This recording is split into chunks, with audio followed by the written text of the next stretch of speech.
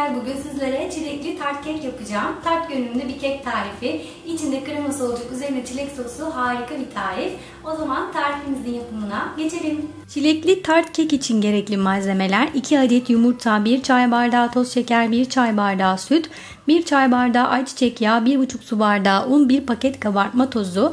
Muhallebisi için gerekli malzemeler 2 su bardağı süt, 1 çay bardağı toz şeker, 3 çorba kaşığı un, 1 adet yumurta sarısı, 1 paket vanilya, 1 çorba kaşığı tereyağı, 100 gram labne peyniri.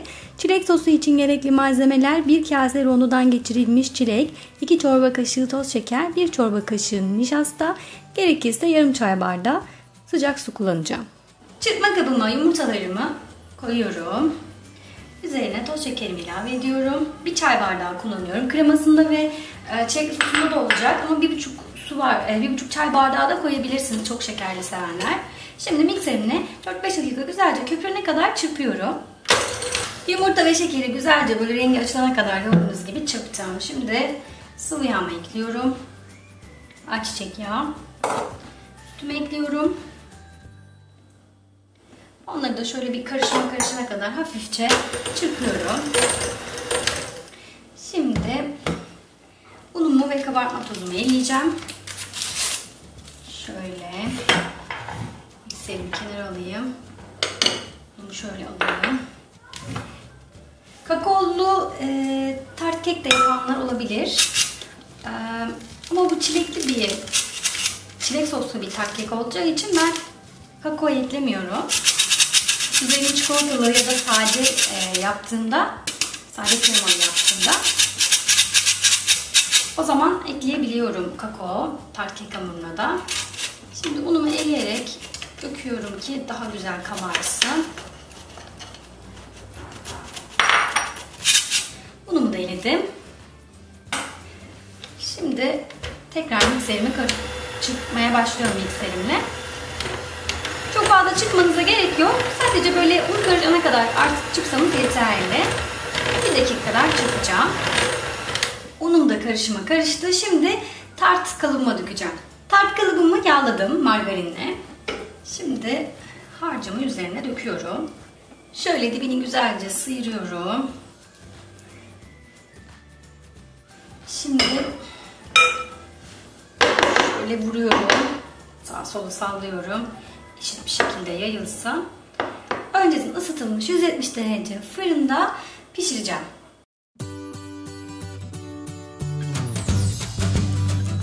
Muhallebisi için ocağımın altını yakıyorum. Tencerenin içine sütümü boşaltıyorum. Toz şekerimi ekliyorum. Şöyle dibini vuralım. Yumurta sarım var. Beyazını ayırken yine dağıldı. Unum var. Şimdi şöyle topak olmaması için önce bir soğukken güzelce çırpıyorum.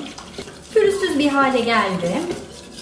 Şimdi ocağımın altını şöyle hafifçe kısıyorum. Koyulaşana kadar karıştırarak pişiriyorum. Muhallebim artık koyulaştı gördüğünüz gibi. Göbek atmaya başladı. Altını kapatıyorum. Şimdi içerisine toz vanilyamı ekliyorum. Tereyağımı ekliyorum. Sıcağıyla tereyağı içinde eritiyorum. Tereyağı içinde eridi. Şimdi soğumaya bırakıyorum. Yani böyle çok fazla soğumasına gerek yok ama şu sıcaklığının gitmesi gerekiyor. Ondan sonra labne peynirini ekleyeceğim. Şimdi çilek sosunu hazırlayacağım. Ocağımın altını yakıyorum. Bir kase rondodan geçirilmiş çileğim var. Şöyle un koydum. İçerisine biraz toz şeker, 2 çorba kaşığı kadar. Bir çorba kaşığı bile olur. Çilek zaten tatlı. Nişastam var. Şöyle nişastamı da koydum. Nişastayı hafif suyla açıp da koyabilirsiniz. Ama böyle ter çırpıcıyla çırparsanız kopmayın topak olmuyor. Daha sonra gerekirse su ekleyeceğim birazcık. Şimdi hızlıca karıştırıyorum. Topakları gitsin. Çilek sosum gördüğünüz gibi koyulaştı. Biraz kıvamını açmam gerekecek. Şöyle yarım çay bardağından daha az miktarda bir su koydum. Karıştırıyorum. Böyle e, pütürlü olarak da tatlınızın üzerine koyabilirsiniz ya da tel süzgeçten geçirip daha pürüzsüz bir kıvamda elde edebilirsiniz. Şöyle birazcık daha ekleyeceğim. Toplamda yarım çay bardağı su eklemiş oldum. Bu kıvam güzel oldu. Sosum kaynıyor. Gördüğünüz gibi. Kabarcıklar çıkmaya başladı. Ocağın altını kapatıyorum. Muhallebim soğudu. Şimdi içerisine labne peynirimi ekliyorum. Labne peyniri eklemeyebilirsiniz de istiyorsanız. E, krem şanti ekleyebilirsiniz, krema ekleyebilirsiniz. Hiç fark etmez ya da bu şekilde muhallebi olarak da kalabilir. Ama bu labne ya da işte krem şanti, krema daha güzel bir lezzet veriyor muhallebisine. Şimdi güzelce çırpacağım. Muhallebim hazır. Şimdi şöyle mikserimi kaldırayım. Kekim de pişti. Kekimin ilk sıcağı çıktı. Onu düz bir tabağa ters çevirdim. Şöyle hemen kenarda bekliyor göstereyim. Gördüğünüz gibi. Hemen çıkıyor zaten kalıptan. Şimdi üzerine kremamı ekleyeceğim.